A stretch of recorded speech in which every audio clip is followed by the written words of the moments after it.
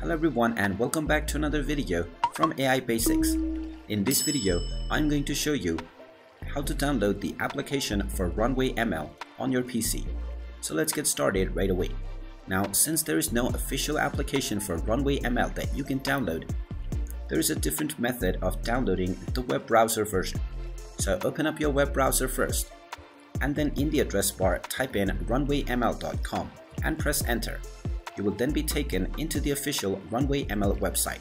Now from this page, if you already have an account, click on the login button at the top right corner to proceed with logging into your Runway ML account. Now after you log into your account, using your Google or your social media account or by your email address and verification code, you will be taken into your official page. Now from the home page, you can immediately start creating whatever you want.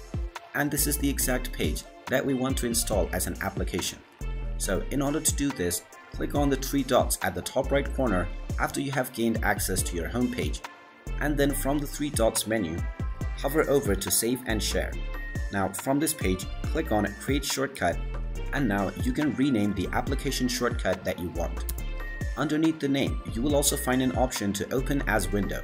Make sure this is checked and then click on the create button. And now this will immediately open up the Runway ML dashboard or the home page within its separate application. And you can now treat it as its own application. You will also find the shortcut within the home page or your desktop. And there you have it.